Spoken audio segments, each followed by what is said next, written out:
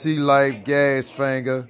I just finished soldering these EC5 um, terminals on here, man, for my uh, Sonic Pro boat, man. My Sonicwake, I just finished.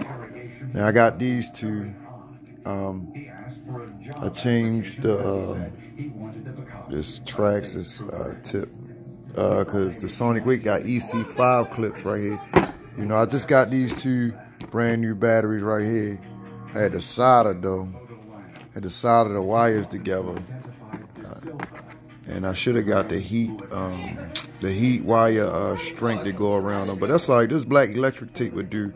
I'm gonna wrap a little bit more around them anyway. Um, RC Life gas finger.